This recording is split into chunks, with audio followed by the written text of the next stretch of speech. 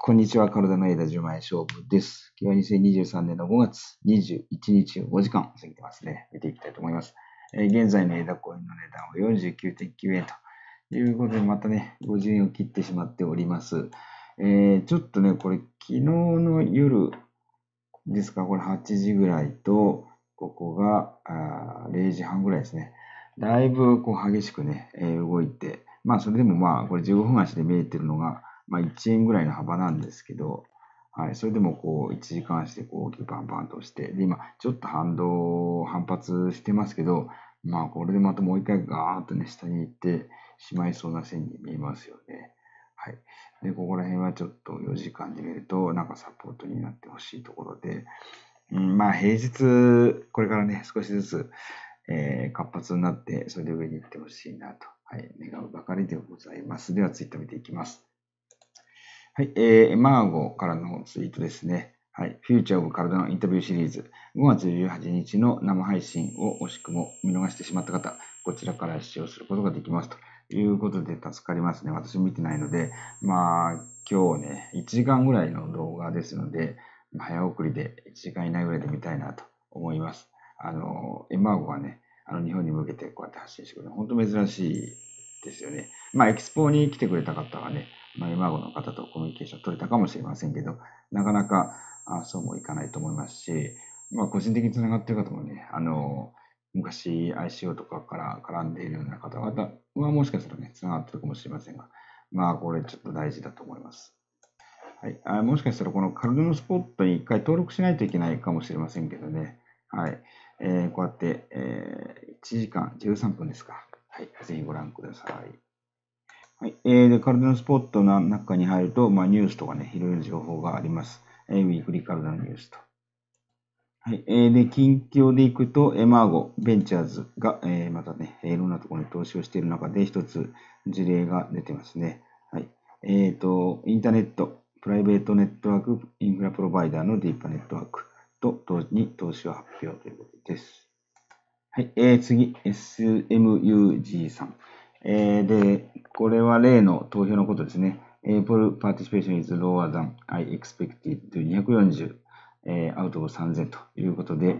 えーこの方の予測に反して、えー3000のノードですね、SPO のうちの240しか、えー SPO の投票に参加してませんよと、ちょっと残念ですね、ということです。はい、えーこのツイートから時間が経っているので、ちょっと見てみますと、今は、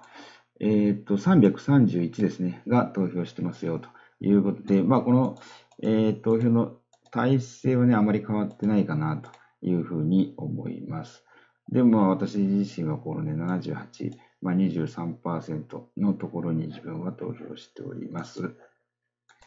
はい、えーいつもね、どなたかの投票に対するコメントを拾ってますけど、今日はシポさんの人と拾いたいと思いますね。えーボルテルの始まり、メインネットでシポ投票実験と、ISPO 投票実験とシポの考えということで。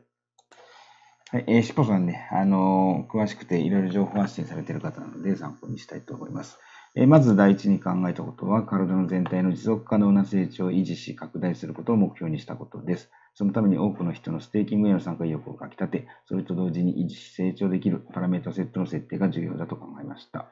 このパラメータは競争力を高め、市場を活性化させ、エコシステムとコミュニティの繁栄を支えるためのものではならないと考えました。そのステーキングの役割を中核的になっているのが SPO です。SPO はステーキングの管理の促進を体のエイダのステークホルダーを代表してその役割を担っています。そのために今回のパラメータの変更は、プロトコルの維持と繁栄のために次の3つのポイントを押さえておく必要があると考えました。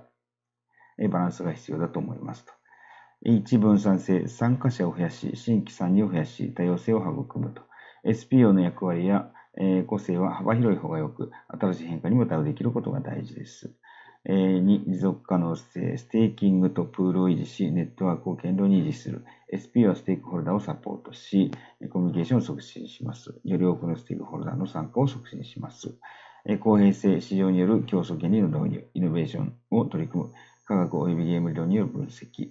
えー公平な競争は市場の変化に対応が可能です。公平な競争原理は新しい SPO のチャレンジ精神も育むことになり、参加し、そこに留まろうとする意欲をこう醸成します。そこで上記3つの視点に加え、変数として現在の世界情勢と今後の予測を交えて、K パラメータとミニマムプールコストのセットアップがどのようにあるべきかを考えてみました。えー、結論。K を500に保ち、ミニマムプールコストを340に保つでした。その理由は K を1000にする以降は、ADA の価格の推移や世界情勢の不安定さを考えると、移民を増やそうとする意欲の減退による持続可能性の低下という意味で、タイミングとしてまだ早いと考えました。そして、尻尾の新規参入プールへの移民の流動性、競争原理を活性化させるという意味では、ミニマムプールコストを170エーダに半減する方がいいと考えましたが、下記のような世界情勢など暗号を取り巻く環境を考えると、えミニマムプールコストは340エーダに保つ方を選んでいます。世界情勢と今後の予測については、えー、規制の影響、銀行破綻やインフレ問題など世界の金融経済の悪化、えー、戦争状態による地政学的な懸念、市場暗号市場の乱高下、エネルギー問題などの悪化による様々な要因が浮上していっています。これら影響によるサーバーやネットワークの停止、コストの上昇の問題など、不安要素が大きいとも考えました。地域によっては規制の影響によりステーキングが禁止される可能性もあります。実際、サーバー運営にはいくつかの影響が出てきています。サービス規定変更によってこれまで使えたものが使えなくなったり、性能や機能の面の低下、エネルギーの高騰によるコストの上昇など様々な要因でサービスの選択肢が若干少なくなってきています。この傾向は経済の悪化やエネルギー問題、インフレなどにより悪化する可能性もあります。また、チェーンデータを保存する容量やメモリー、CPU などの必要条件も2年ほどの経過でも大きくなってきています。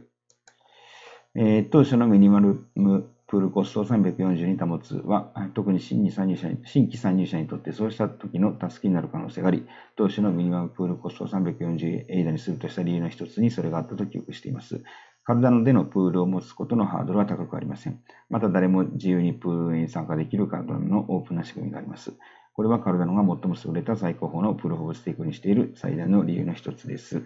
さらに世界中に多くのサポートコミュニティに加え、日本には大変素晴らしいサポートコミュニティが、え存在します。科学的な検証とゲーム理論のもと、誰もがプールを自由に解説でき、アイデア次第で現実なプールから個性豊かなプール、エコシステムを盛り上げるサービスや活動をベースとしたプールなど、シングルからマルチプールまで様々なプールが主流原理のもと、え、管理、運営されることが期待できます。そしてそこには、イニシの自由意志による選択肢があることで、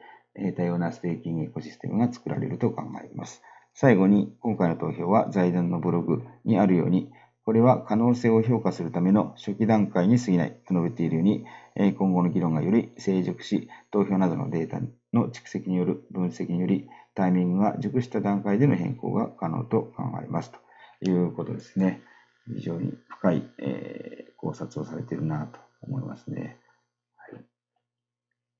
はい、えー、話変わりまして、今日これ言わないといけなかったですね。えー、5月20日は、えー、ビットコインピザデーですね。ビットコインピザの日やんなと。えー、当時、えー、1万ビットコインでピザ2枚を買ったのが最初で言われてるけど、13年後の今はとんでもない価値のピザに、ピザに、ピザじゃないですよ。ピザになっている。えー、まさかここまで価値上がるなんて絶対思わんかったやろうなと。はい。えー、仮想日誌さんからも、クリプト業界の皆さん、明日は待ちに待ったビットコインピザデーです。あ、21日なんですね。えー、業界の皆さんは積極的にピザを食いまくり、さ、サトシ、中本の業績を称えましょうということで、えー、ちょっと20とか21とか言ってません。ちょっとこの文章を読んでみますね。はい。えー、コインポストからビットコインピザデー12周年ということで、